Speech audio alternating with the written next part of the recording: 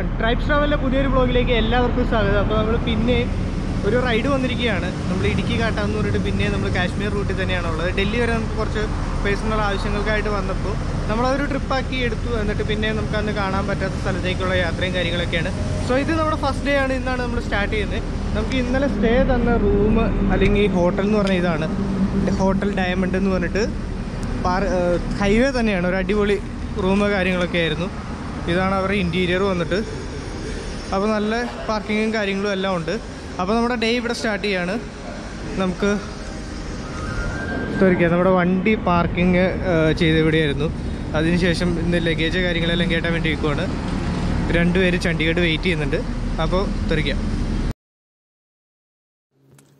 So guys അപ്പോൾ ഞാൻ പറഞ്ഞതുപോലെ തന്നെ ഇന്ന് നമ്മുടെ ഫസ്റ്റ് ഡേ ആണ്. അപ്പോൾ നമ്മൾ ഇന്നലെ ഡൽഹിയിൽ എത്തി നമ്മുടെ പ്രൊസീജിയേഴ്സ് കാര്യങ്ങളും വണ്ടി റിലീസ് ചെയ്യാനുള്ളതും അത്തരത്തിലുള്ള കാര്യങ്ങളെല്ലാം കഴിഞ്ഞപ്പോഴത്തേക്ക് ഏകദേശം ഒരു വൈകുന്നേരം നാല് മണി സമയമായി. അപ്പം ഞാനും ടിങ്കിളുമാണ് നമ്മുടെ വണ്ടിയിലുള്ളത്.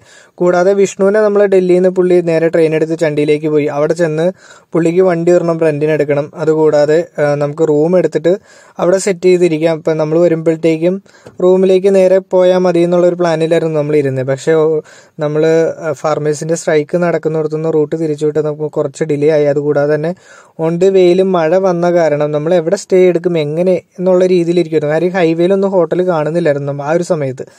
അങ്ങനെ ഇരിക്കുമ്പോഴാണ് നമ്മൾ ഈ ഹോട്ടൽ ഡയമണ്ട് നമ്മൾ കാണുന്നത് അപ്പോൾ അത്യാവശ്യം ഒരു പ്രീമിയം ഹോട്ടലാണ് അപ്പോൾ ചാർജ് ജസ്റ്റ് ഒന്ന് ചോദിച്ചു നോക്കാമല്ലോ എന്ന് ഓർത്തിട്ട് ചെന്ന് കഴിഞ്ഞപ്പോഴത്തേക്ക് അവർ ആദ്യം നല്ലൊരു എമൗണ്ട് പറഞ്ഞു.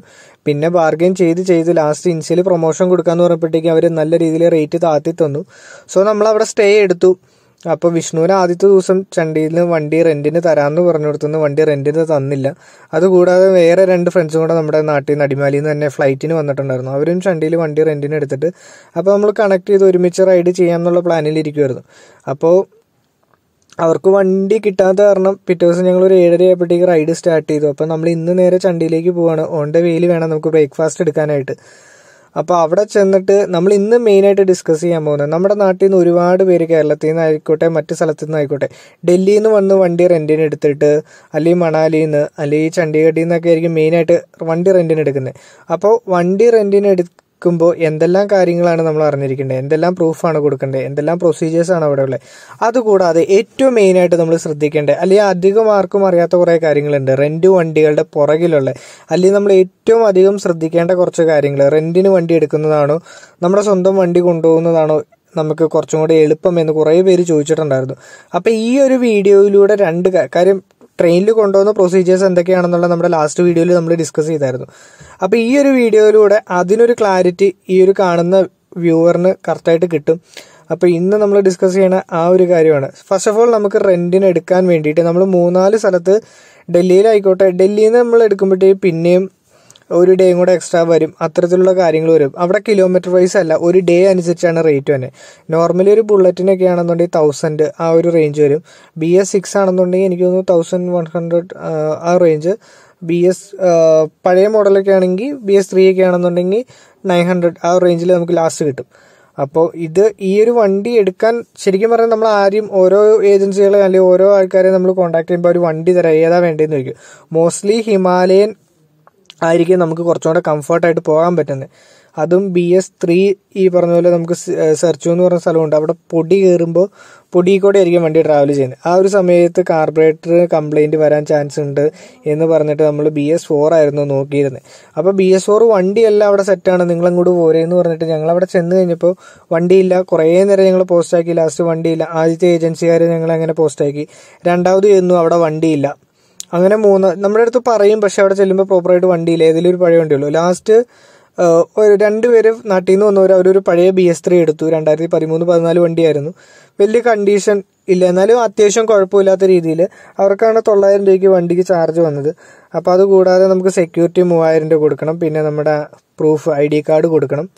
പിന്നെ ഒരു ഡേ ഞാൻ പറഞ്ഞ പോലെ നയൻ ഹൺഡ്രഡ് വെച്ചിട്ടാണ് ചാർജ് അപ്പോൾ അതുപോലെ തന്നെ മറ്റേ ആൾ ആളെടുത്തെന്ന് പറഞ്ഞിട്ടുണ്ടെങ്കിൽ ലാസ്റ്റ് സെക്കൻഡ് ആയപ്പോഴത്തേക്കും നമുക്ക് രണ്ടായിരത്തി ഇരുപത്തൊന്ന് model B S six sorry രണ്ടായിരത്തി ഇരുപത് ബി എസ് സിക്സ് ബുള്ളറ്റ് കിട്ടി ക്ലാസിക് ത്രീ ഫിഫ്റ്റി അപ്പോൾ കമ്പാരിറ്റീവ്ലി നമ്മൾ ഔട്ട്ലുക്ക് നോക്കുമ്പോഴത്തേക്കും അല്ലെങ്കിൽ കാര്യങ്ങളെല്ലാം നോക്കുമ്പോഴത്തേക്കും എല്ലാം സെറ്റാണ് അപ്പോൾ നമ്മൾ ഓർക്കും അടിപൊളി വണ്ടിയാണെന്നുള്ള രീതിയിലായിരുന്നു എടുത്തത് പക്ഷേ ഇതിന്റെ ഒരു പിന്നിലുള്ള കാര്യം എന്ന് പറയാൻ റെന്റിന് പോയിക്കൊണ്ടിരിക്കുന്ന വണ്ടി ആയിരുന്നു ഇവർ പ്രോപ്പറായിട്ട് എനിക്ക് തോന്നുന്നു ഓയിൽ ചേഞ്ചും അത്യാവശ്യം ഒരു ബ്രേക്കിങ് കാര്യങ്ങളെല്ലാം മാത്രമാണ് അവർ ചെയ്യുന്നുള്ളൂ. ബാക്കി ഓൺ ദി ആ ഒരു വണ്ടിക്ക് എന്ത് മെയിന്റെനൻസ് വന്നാലോ അല്ലെങ്കിൽ ആ ഒരു വണ്ടിക്ക് എന്ത് എന്തൊക്കെ പറ്റിയാലോ അത് നമ്മുടെ കയ്യിൽ നിന്ന് ഇറങ്ങിപ്പോവും. നമ്മുടെ ഈ പറഞ്ഞ പോലെ രണ്ടായിരത്തി പതിനാല് ബുള്ളറ്റ് ഒരു തവണ ടയർ പഞ്ചറായി ടയർ പഞ്ചറാവണ നമുക്ക് വിടാം. അത് ആർക്കും പറ്റാവുന്ന കാര്യമാണ്. അതുകൂടാതെ ആ വണ്ടിയുടെ ഹബ്ബ് വീൽ ബെയറിംഗ് ഒക്കെ പോയിരിക്കുമായിരുന്നു അതെല്ലാം കൂടെ ഫുള്ള് ഒരു ഹബ്ബ് ആ ഒരു സെറ്റേ നമുക്ക് മാറേണ്ടി വരും. ഏകദേശം നാലായിരത്തി അഞ്ഞൂറ് ആ ഒരു വണ്ടിക്ക് മാത്രം നമ്മുടെ കയ്യിൽ നിന്ന് ഇറങ്ങിപ്പോയി. അതുകൂടാതെ പത്ത് ദിവസം പതിനായിരം രൂപ വന്നു. പിന്നെ ഈ നാലായിരത്തി നാലായിരത്തി അഞ്ഞൂറും കൂടെ വരുമ്പോഴത്തേക്കും പതിനാലായിരത്തി അഞ്ഞൂറ് വന്നു. അതുകൂടാതെ മറ്റേ വണ്ടിക്കും മറ്റേ വണ്ടിക്ക് ബി എസ് സിക്സിന് അധികം കംപ്ലൈന്റ് വന്നില്ല. പക്ഷെ അതിനൊട്ടും വലിയില്ലായിരുന്നു. അപ്പോൾ അതിന്റെതായ ചെറിയ ബുദ്ധിമുട്ടുകളും കാര്യങ്ങളും ഉണ്ട്. അപ്പോൾ റെന്റിന് എടുക്കുമ്പോൾ നമ്മൾ മെയിനായിട്ട് ശ്രദ്ധിക്കുക. ആ ഒരു വണ്ടിക്ക് എന്തൊക്കെ പറ്റിക്കഴിഞ്ഞാലോ ആക്സിഡന്റ് ആയിക്കോട്ടെ അല്ലെങ്കിൽ മെയിന്റനൻസ് ആയിക്കോട്ടെ എന്ത് പറ്റിയാലും അത് കംപ്ലീറ്റ്ലി നമ്മളാണ് അതിന്റെ ഉത്തരവാദിത്തം ഏറ്റെടുക്കേണ്ടി വരുന്നത്. ആ ഒരു കാര്യം മെയിനായിട്ട് ശ്രദ്ധിക്കുക.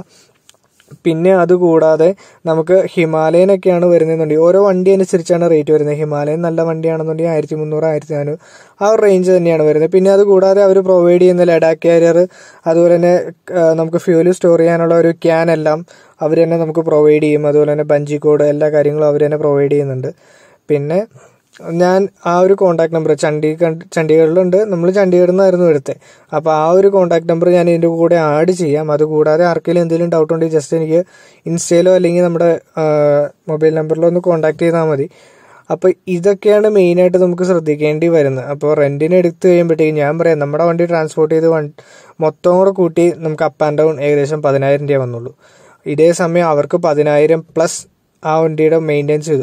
ഇപ്പം ഞാൻ പറയാം പോകുന്ന വഴിക്ക് നമ്മുടെ വണ്ടിക്ക് മെയിന്റെനൻസ് വരും അല്ലെങ്കിൽ എന്തെങ്കിലും പറ്റിയ പറ്റിക്കൂടായികയില്ല എന്നൊന്നും ഞാൻ പറയുന്നില്ല. പക്ഷേ പറ്റിക്കഴിഞ്ഞാൽ നമ്മൾ ആ ഒരു എമൗണ്ട് കൊടുത്ത് പുതിയ സാധനം മേടിച്ചിരുന്ന നമ്മുടെ സ്വന്തം വണ്ടിക്ക്.